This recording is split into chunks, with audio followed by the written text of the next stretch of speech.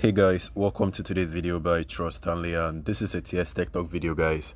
So on today's video guys, I'm going to be showing you guys a new way to share a post on Instagram with your friends and this is actually going to be sharing with your frequent um, or favorite friend that you chat with or message a lot on the platform.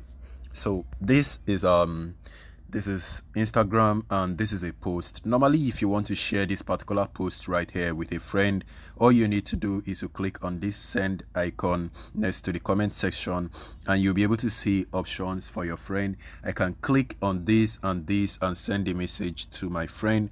And um, when i click on this messenger section this is actually what i sent to my friend. You see the way it look like right? Now um, a new way to send it to your friend quickly um, without clicking that area and tapping is just to click and hold. When you click and hold it displays different um, your favorite um, chat friends or your favorite friends. You can now go ahead and tap on anyone and it sends the message real quick.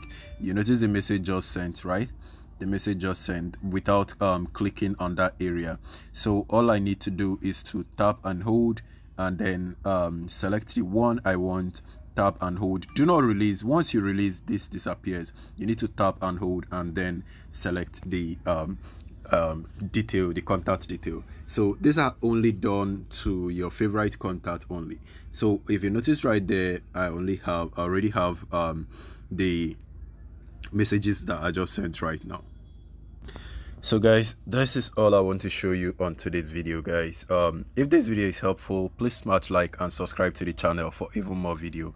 And i'm going to see you on my next video. Please stay safe and peace